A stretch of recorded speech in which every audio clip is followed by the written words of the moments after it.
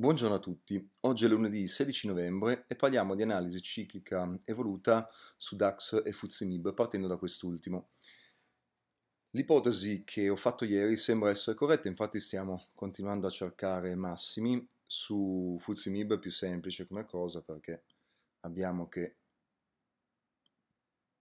da qui a qui siamo arrivati comunque già a un 29 barre di inverso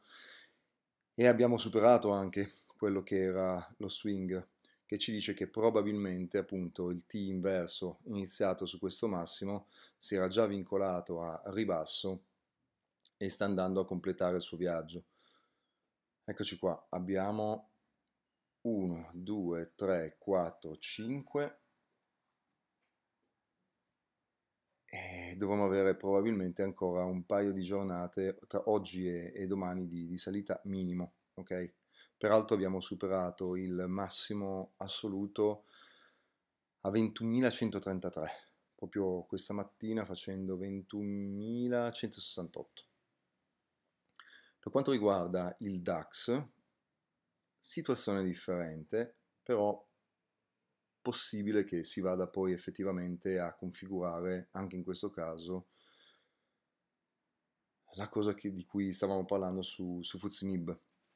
anche se, ripeto, fino a che non verrà superato questo massimo non sapremo se sempre da questo massimo sta partendo poi effettivamente già in automatico il nostro secondo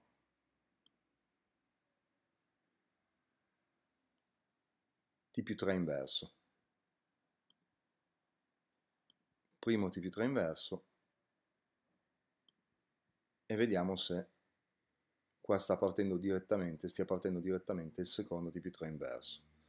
Sappiamo che oltretutto per avere un TP3 inverso come minimo dovremo scendere per eh, appunto un T più 1 inverso rialzista, ovvero ribassista di indice, minimo 12 giorni da massimo a massimo, massimo 21 giorni da massimo a massimo. Per oggi quindi che cosa faremo sostanzialmente? Andremo a vedere dopo l'apertura a che punto saremo e, ritornando sul MIB, qui dovremo vedere dove verrà fatto il massimo e a quel punto, dopo una discesa per la partenza eh, del solito